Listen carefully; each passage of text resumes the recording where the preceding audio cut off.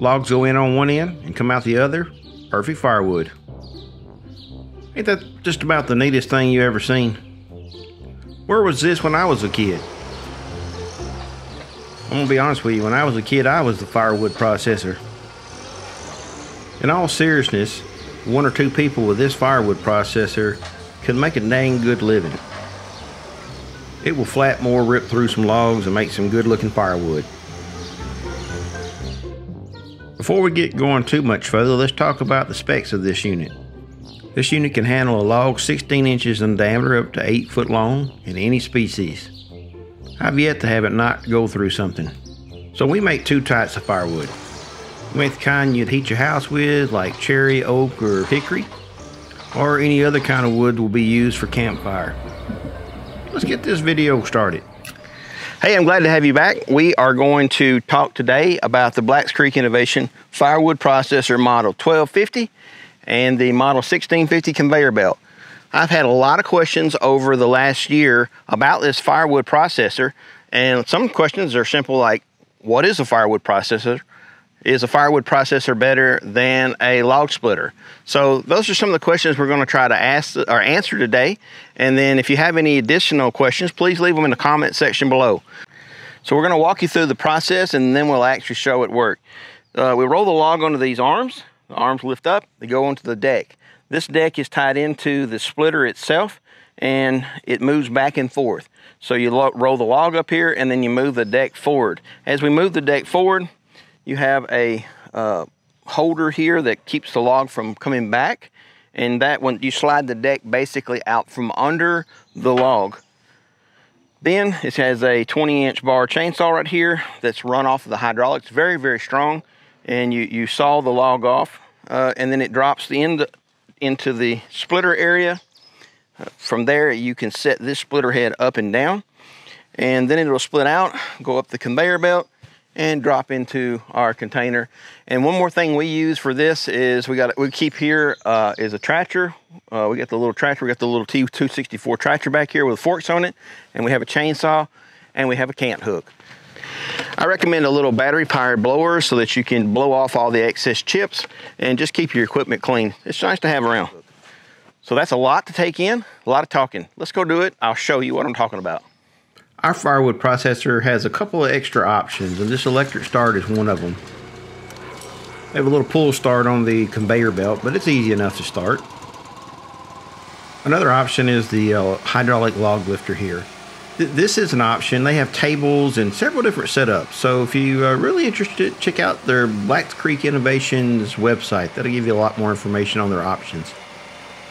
Once the firewood processor shows up with a little bit of setup, very little setup, putting some oil in the engines, checking everything out, it's ready to go to work. This elm log got slipped in. It's a fair firewood. As I said earlier, I run pretty much about every kind of wood through it that we have around here locally, including the elm. Elm is a really nasty wood. Until this point, whether knotty oak, elm, or hickory, I have yet to run against uh, run up against a log that it wouldn't split. You know, I can just about smell that cherry wood burning. I cannot lie, I did cut down the cherry tree. The firewood processor will work standalone, but if you put it with a conveyor belt, it takes an additional layer of labor out of the scenario. I'm not sure I could say that again. Anyway, with the conveyor belt, it can really make this a one person operation.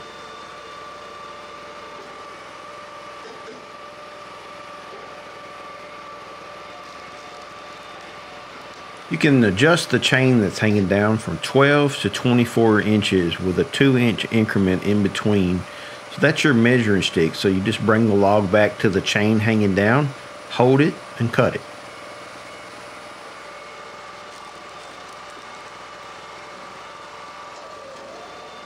I'm going to do my best now to answer the question Do I prefer a log splitter or the firewood processor? Which one's the best? Well, the answer is this they're not even really the same beast. Even though they both split firewood, they're in a different kind of category. If you're just a homeowner and you burn firewood, then a uh, log splitter is probably the right thing for you. But this firewood processor can split and process enough firewood in a day uh, that would probably take you a week or a couple of weeks uh, with a conventional log splitter. You just mostly it's gonna you're gonna run out of steam yourself before the log splitter does. This firewood processor takes out a tremendous amount of the labor. Blacks Creek has went out of their way to just make this easy to uh, to maintain yourself. Like it uses a conventional bar and chain that you can get at any chainsaw store. There's really nothing special about that. Also, almost all of the parts, like your hydraulic pump, hoses, fittings, bearings for the wheels, they're just all you know standard stuff that you could get at your farm supply store. There's very few things that are proprietary on this machine. It'll be easy to maintain. Both the firewood processor and the conveyor are both pretty easily transportable. Uh, they have they have they recommend only going 45 miles per hour with them. I will be honest and say that I, I did ease up to 55 miles an hour just to see how they handle, and they followed and towed absolutely uh, great. But do keep in mind that that is not what is recommended by the company.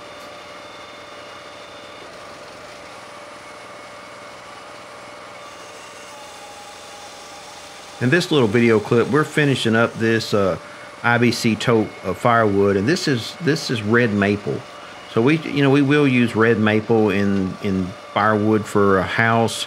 Our primary is oak, hickory, and some elm actually, but we'll burn red maple also. So this will all go to our shop for this winter. When we first started talking uh, to Blacks Creek about getting a firewood processor, the conveyor belt was kind of on the chopping block. It, you know, the additional cost of the conveyor belt. But I'm really glad that we went ahead and went with the uh, conveyor belt because every piece of wood that you've seen fall off this or come off of the firewood processor would have had to be picked up by hand. And it, it'll pay for itself in labor and back pain uh, to be able to drop this uh, firewood off into the IBC tote. So I kind of wanted to know how much wood would fall out at this scenario using this IBC tote. And literally, four pieces of wood fell out of the tote before it was full. So I can live with picking up four pieces of wood. Having a stout little tractor to move this around with makes it a lot easier too. So what I'm doing here is I'm taking my leftover scraps from the sawmill and I'm going to cut them up and use them for firewood in the shop as well. I will put them in a separate tote because I might end up just using it for camping, but it, it's you know we don't want to waste anything. So I hate to do this to you, but drone video doesn't have sound. Obviously, it flies in the air. There's no microphones. And Tanya got some really cool shots here, and I recommend you watching this because it gives you perspective that you just can't see otherwise. Unfortunately, I just had to put some corny music in there, and I hope you can bear with us. Well, I can do this to keep you from having to listen to the corny music. I'll tell you this little quick story. So Tanya's really getting good with the drone, and she's doing some pretty cool shots here. Well, I am, you know, working this machine and it's kind of loud and the motor's running and all of a sudden I feel this cool breeze over my head and I look up and the drone is maybe about a foot over my head with the little blades turning, you know, several thousand RPMs. And I don't know if anybody out there has ever grabbed a drone out of the air and missed and hit the blades, but this old boy here has done that. You don't want to get into those blades. Hey, I really appreciate you watching our channel. God bless and have a great day.